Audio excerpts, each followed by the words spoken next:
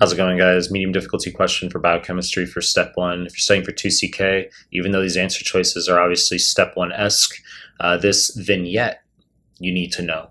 So before we get started, please subscribe to my channel. I really appreciate it. Give it a like. Really appreciate it. Find me on Instagram, Mehlman underscore medical, and me, Mehlman underscore medical. Links down below. Find me Telegram. Links to Telegram group channel down below. And I start the clip. 82 year old woman. She's been on a tea and toast diet for the past six months, and her physical exam shows no abnormalities. MCV is elevated at 108. Should be 80 to 100. And then we have a hypersegmented neutrophil here.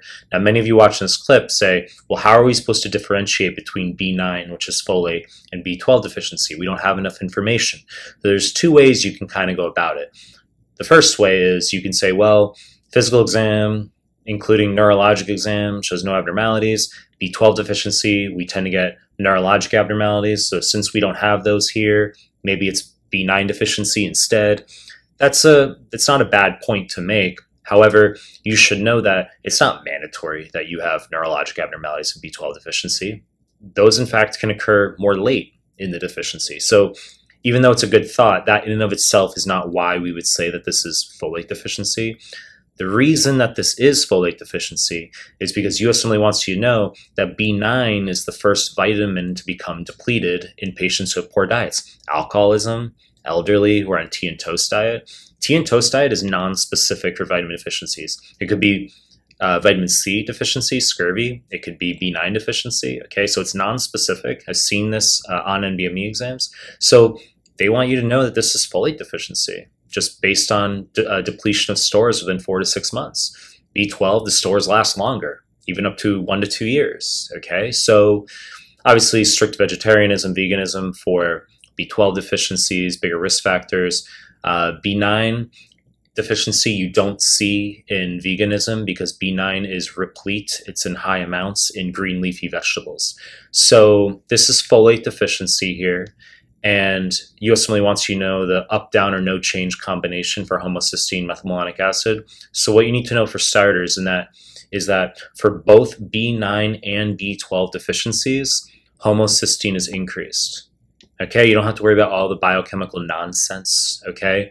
But you need to know that homocysteine is increased in both B9 and B12 deficiencies. Now, methylmalonic acid obviously being the special one here, which, holy shit, it's only going to be increased in B12 deficiency. So our correct answer is increased homocysteine, no change methylmalonic acid. This is for folate deficiency. If in contrast, we had B12 deficiency, the answer would be an up arrow for both. So once again, you don't have to worry about all the biochemical nonsense. Okay, we, we don't have a numerical step one anymore. Obviously, for instance, uh, B12, uh, it's a cofactor for methylmalonic uh, acid, methylmalonyl CoA mutase, uh, which can convert methylmalonyl CoA into succinyl CoA in the TCA cycle.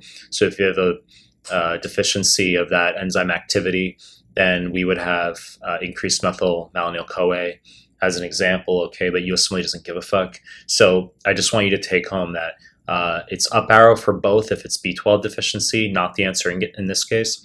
Uh, it's up arrow homocysteine, uh, no change methylmalonic acid for B9 deficiency, which is the correct answer here. Because if you're forced to choose a B9 or B12 deficiency in an elderly patient with no other information, or an alcoholic with no other information, uh, USMLE wants to know folate deficiency is more common. Hypersegmented neutrophils seen in both due to poor DNA synthesis.